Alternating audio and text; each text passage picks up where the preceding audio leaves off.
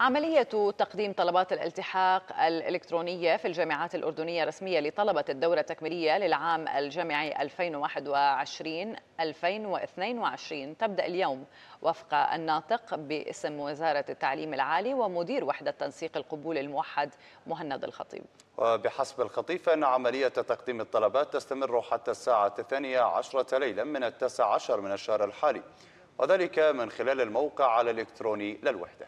وأكد الخطيب أن نتائج القبول الموحد ستعلن قبل بدء تدريس الفصل الدراسي الثاني في الجامعات الأردنية في السابع والعشرين من شباط الحالي.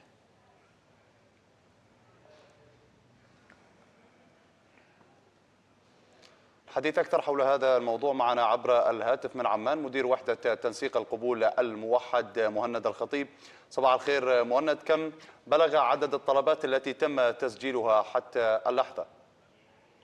نعم سيدي أسعد الله صباحكم وصباح جميع الإخوة المشاهدين عبر قناة المملكة.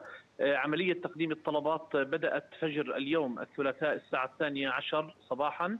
بلغ عدد الطلبات التي تم تقديمها حتى اللحظة 600 طلب تم تقديمها وتخزينها.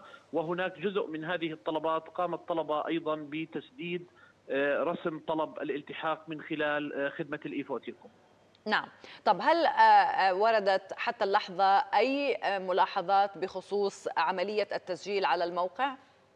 لا حقيقة ما في أي ملاحظة وبصراحة يعني عملية التقديم ميسرة جدا حتى أن وحدة تنسيق القبول الموحد ومن حرصها على أبنائها الطلاب ربطت شاشة الخيارات التي يقوم الطالب من خلالها بإدخال خياراته بمعدل الطالب وبمعدلات القبول التنافسية بحيث لا يظهر لأبنائنا الطلبة في شاشة الخيارات إلا الجامعات والتخصصات التي يحق لكل منهم المنافسة عليها وهذا تجنيبا لهم للوقوع في أي خطأ لا سمح الله بوضع تخصص لا يحق له المنافسة عليه. طيب مهند بما يتعلق بالتخصصات هل يمكن للطالب التعديل على اختياره بعد تقديم الطلب؟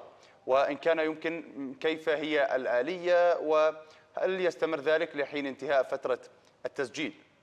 أشكرك على هذا السؤال سؤال هام جدا. نعم في أي لحظة ينهي الطالب عملية تخزين الخيارات في طلب الالتحاق يستطيع طوال فترة تقديم الطلبات وحتى الساعة الثانية عشر من مساء يوم السبت القادم أن يدخل على شاشة الخيارات مرة أخرى ويقوم بإجراء أي تعديل يرغب عليه سواء بإضافة خيار آخر أو إلغاء خيار أو إعادة ترتيب الخيارات بكل يسر وسهولة.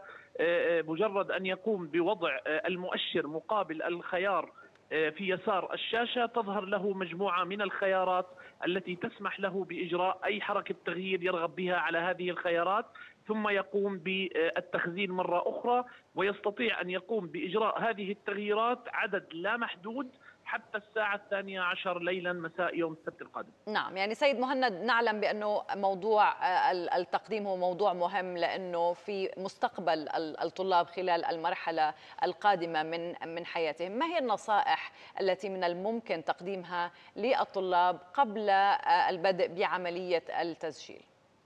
اولا أنا بتمنى من أبنائنا الطلاب عدم الاستعجال في تقديم طلب الالتحاق، هناك خمسة أيام أمام الطالب وهي فترة كافية حتى يأخذ وقته بالتفكير واختيار التخصص المناسب له، نتمنى من جميع أبنائنا الطلاب ضرورة الاطلاع على الموقع الإلكتروني لوحدة تنسيق القبول الموحد والذي يتضمن جميع البيانات والمعلومات التي تساعد في عملية تقديم الطلب، خاصة التخصصات المطروحة وما هي مجالات العمل في هذه التخصصات وما هي طبيعة هذه التخصصات أيضا الاطلاع على التخصصات الراكدة والمشبعة والمطلوبة. وهناك مجموعة من النصائح والإرشادات والأسئلة الأكثر تكرارا موجودة أيضا على الموقع، هناك أيضا بوابة إلكترونية أخرى لا تقل اهميه عن الموقع الإلكتروني للقبول الموحد وهي بوابة اختر تخصصك والتي توفر للطالب معلومات قيمة جدا ليس فقط عن سوق العمل المحلي بل أيضا على الإقليم والدول المجاورة وتساعده في أن يقوم باختيار التخصص الذي يتوافق مع قدرته ومع رغباته بعيدا عن أي تأثيرات سلبية. واتمنى أخيرا من أبنائنا الطلبة خاصة أصحاب المعدلات المرتفعة ألا يجعل معدله المرتفع في الثانوية العامة سببا في أن يحصر نفسه في تخصصات قد تكون مطلوبة مجتمعيا ولكنها لا توفر له فرصة عمل في المستقبل. نعم شكرا اذا كان معنا من عمان مدير وحدة تنسيق القبول الموحد مهند الخطيب شكرا جزيلا لك.